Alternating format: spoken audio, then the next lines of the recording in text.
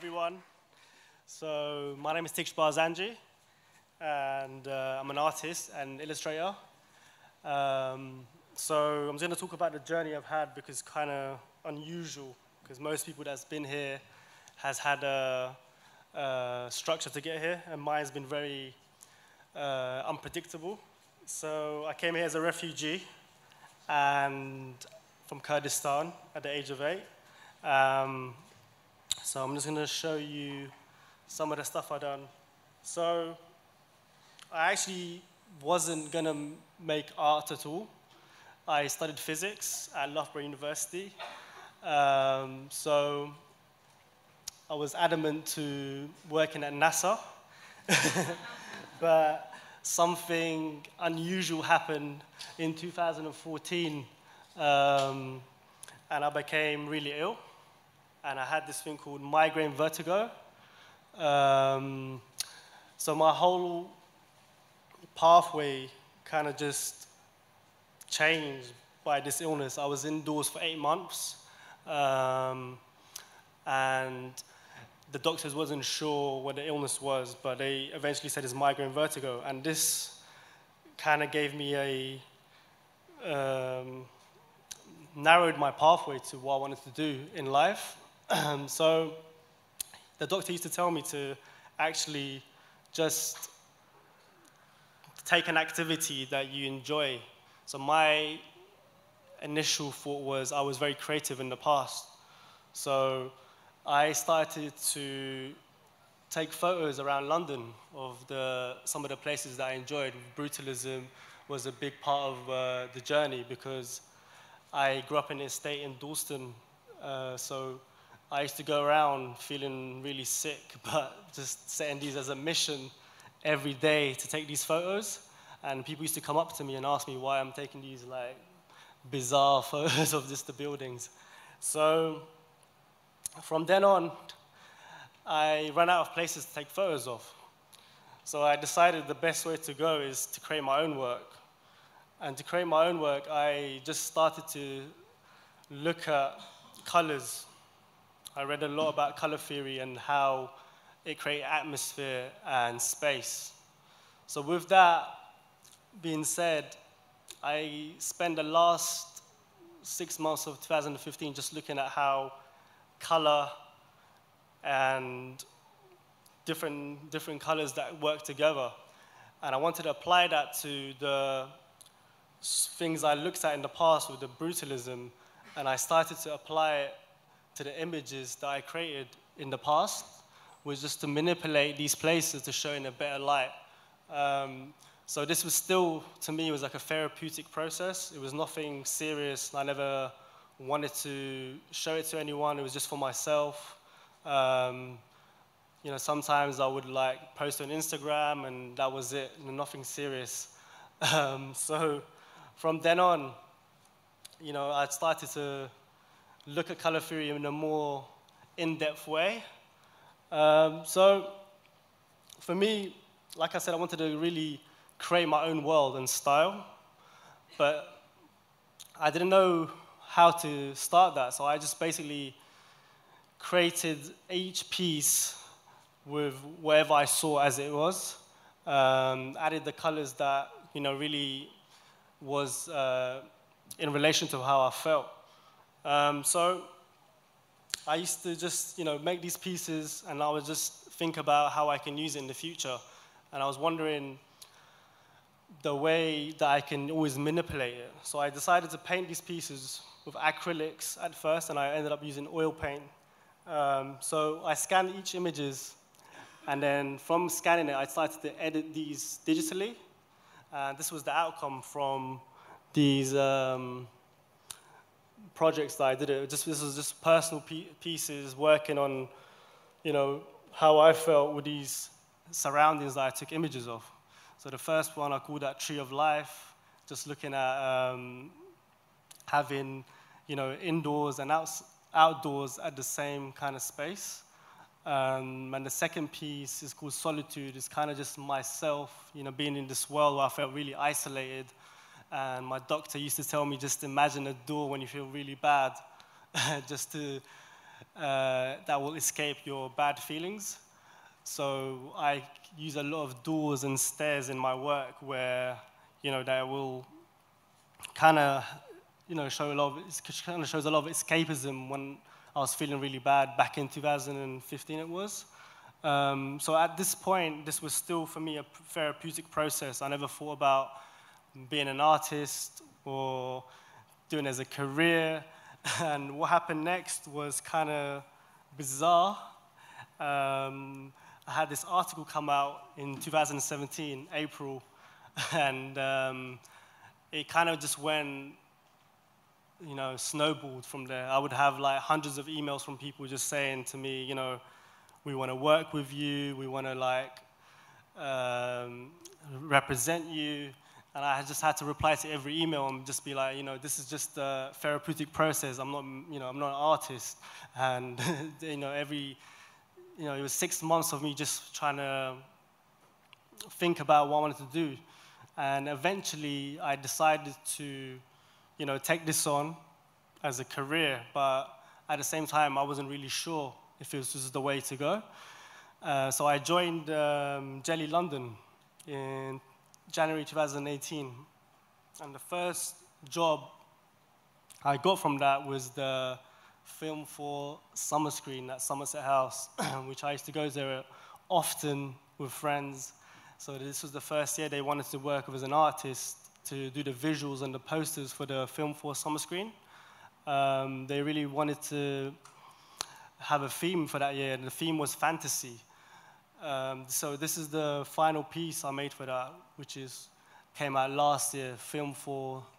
Um, so this was a collaboration between me, Film4, and Somerset House, and it was really interesting. You know, eventually I got loads of photos from you know people just showing me pictures they took around London, and this was kind of the first time where I saw myself as an artist. Um, so this was interesting because Film 4 were really, you know, open to me working uh, with whoever, you know, my ideas and really surreal ideas. But at the same time, Somerset House, you know, had a lot, they were saying they had a lot of older generation that viewed their work. So it was all about having that balance uh, to make sure, you know, everyone's on board. So I'm just going to show you the final piece, I mean, not the final piece, but the piece that I always wanted to have as, this, as the poster, but they, eventually Somerset House didn't agree with it. So this was the piece I wanted to use. so a lot of the, they were just um, saying it was a bit too complex for the, the viewers. So I just wanted to show that so you can see, you know, the, the process, you know, it doesn't always end up how you want. And secondly, from this point on, I had, you know, a couple of little shows in Taiwan, and eventually I wanted to just focus on the people instead of the spaces. I just wanted to look at the people within these spaces and how they interact with the, you know, the situations they're in. And I really, you know, just, I I, in the period when I was really ill, I, I spent two years just studying people, taking notes and drawings, and you know, I was go to a theater on my own and just taking drawings of people, how they act and how they talk. And I actually use this in my work right now, but I don't think, you know, I never really spoke about it. It's the first time I'm going to actually, I just announced it. So uh, I kept the identities anonymous because I wanted to people to focus on the interactions more than the, you know, the race so that's why I've kept the identity, um, you know, anonymous for the whole, most of the, you know, all of my work that I've been working on. Um, so this is the works, you know, that came out of it. It's a series I made for myself. Um, so each piece was moments in my life where, you know, interactions I've had with people, and the colors in it all like found objects. Uh, and it's, you know, the green, uh, that's a found object I found in 2014, back in 2000, um, sorry, in Camden. I found this, you know, on the street, and I, you know, kind of stuck with me. And the colors in the lighting, the reds and the oranges are all just moments where I've had where the lights have come into my room and friends' rooms, and just little moments I've kept, and I've kind of just brought it all together. And then eventually, I carried on the series and just played down with colors and you know situations that I've encountered, and this kind of led to what I'm doing right now. So I was in Miami in 2018 last year, and then a friend of mine was just asking me whether I've ever had a um, a show or I've had any like um, like clients in America, and I was just like, no, I don't really get work in America. And at this moment, when I my friend was talking about this, I looked at my email and I had an uh, email from Rockefeller from New York, and it was it was bizarre because at the same time where we were sat, Kanye West was approaching us. I don't know, it was just a weird situation. and um, so I was thinking about my whole life at that moment, and I'm thinking about how it's only been 11 months I've been doing all this work. And, you know, everything moved so fast. And I looked at the brief and I was, couldn't enjoy the holiday anymore because all I was thinking about is going home to work on this project. So they have this big project next to the Empire State Building uh, they call it, it's called the Rose Hill. It's not finished yet. They're still building it. It's a luxury apartments. Um, so they wanted me to just illustrate certain areas of uh, the New York and how you know people interact with it. And I'm just going to show you some of the pieces I created of uh, those elements. So the first piece is um, this is just a, uh, is a really famous library that's in New York, and you know, just they really wanted to be really surreal. So that was something I'm always up for because I like surreal stuff. And um, yeah, so the second piece is the um, Gramercy Theatre. Um, so they just wanted to, and also they wanted the colors to really blend with, um, you know, the whole theme of the building, which was, you know, a lot of navy, a lot of bronze. Um, so I'm just going to carry on showing you the other pieces. this I've never shown these pieces, but these are this is the Madison Square Garden. Um, you know, this is the second piece, Eataly, where you can get loads of like nice Italian food. There's this big supermarket. Um, so basically, this is to, I just wanted to show you some of the projects I worked on. And I have to apologize, I'm gonna have to bring Jorja Smith back into this. Um, so Jorja Smith, at the moment when I was finishing that project, she hit me up and wanted to do some visuals for her live shows. Um, so I said, yeah, why not? Let's do it. And so I just turned my, you know, process of painting, scanning, and then turned into animation. Each, you know, the animation took about eight hours to make 30 seconds. So this was for her live show. Um, so this is actually going to be shown at Glastonbury. Her show is going to be on Friday. So if you want to see it, I'm just going to play you a part of it, a clip of it, so you can see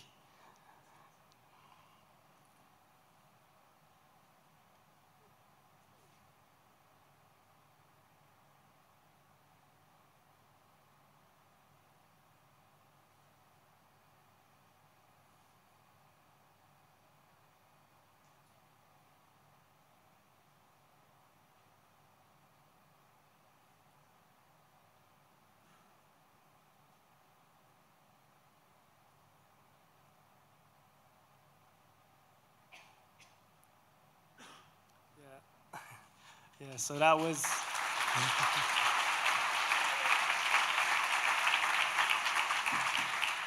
Thank you.